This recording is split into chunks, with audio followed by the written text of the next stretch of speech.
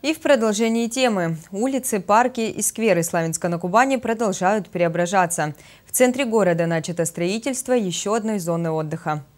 За последние годы сделано немало красивых объектов для семейного отдыха. Особое внимание уделялось центральной части города. Между тем территория, находящаяся рядом с театральной площадью, на пересечении улиц Красная и Школьная оставалась необустроенной. Администрациями района и города принято решение благоустроить этот участок земли. Никаких торговых объектов в пределах данной зоны отдыха не предполагается. Новый сквер станет исключительно местом для отдыха, где будут выстелены аккуратные пешеходные дорожки, установлены скамьи а в качестве украшения будет узорное озеленение территории. В настоящее время проводятся работы по отведению воды и завоз грунта.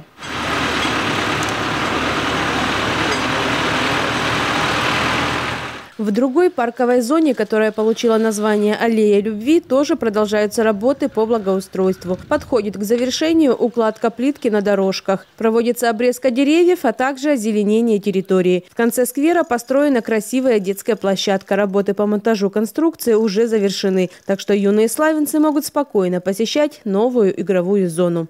Анна Монастыренко, Александр Косицын, Александра Тимовская. Программа «События».